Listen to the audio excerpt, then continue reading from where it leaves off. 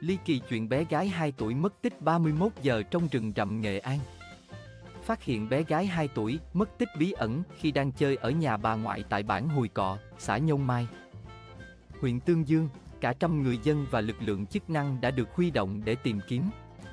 Hơn 31 giờ, bé Vừa Thùy Dung được phát hiện trong tình trạng tím tái vì lạnh.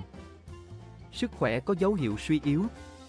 Ngày 12 tháng 1, Đại úy Nguyễn Hồng Quân, trưởng công an xã Tri Lễ, huyện Quế Phong, Nghệ An, cho biết.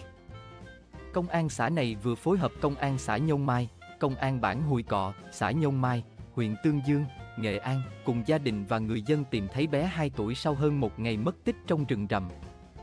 Cháu bé được tìm thấy trong niềm vui sướng sau hơn một ngày đêm mất tích ở rừng rậm. Trước đó anh vừa bá dìa, bí thư bản Hùi Sái.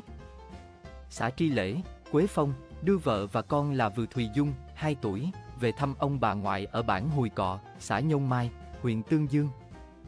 Đến sáng ngày 10 tháng 1, anh Dìa và vợ sang nhà người thân và để con gái ở nhà chơi cùng ông bà ngoại. Tuy nhiên khi trở về nhà, vợ chồng anh Dìa tìm kiếm quanh nhà nhưng không thấy con. Do khu vực nơi con gái mất tích là rừng núi rậm, sợ con gặp bất trắc.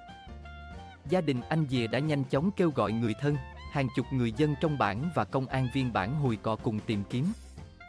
Khi tìm thấy, cháu bé lạnh tím tái người nên được đưa về sưởi ấm, cho ăn uống. Sáng ngày 11 tháng 1, sau hơn một ngày đêm tìm kiếm nhưng không thu được tin tức.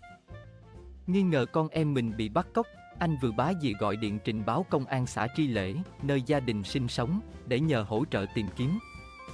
Nhận tin báo, công an xã Tri Lễ lập tức triển khai lực lượng sang để tiếp cận người thân, xác minh thông tin và triển khai phương án tìm kiếm. Sau khi gia đình, người thân và công an viên bản Hùi Cọ tìm kiếm bất thành, cả trăm người dân xã Tri Lễ nghe được tin tức cũng sang hỗ trợ tìm kiếm. Gia đình cháu bé cho rằng bé Vừa Thùy Dung còn nhỏ chưa đi được xa nên rất lo lắng con em mình đã bị bắt cóc, trưởng công an xã Tri Lễ cho biết. Lực lượng công an xã Tri Lễ cùng công an xã Nhông Mai và chính quyền địa phương bàn giao cháu bé cho gia đình. Sau nhiều giờ đồng hồ nỗ lực tìm kiếm, đến 15 giờ chiều ngày 11 tháng 1, công an xã Tri Lễ cùng mọi người đã tìm thấy cháu Dung đang bò trong bụi cây rậm rạp, cách nhà hơn 600 m.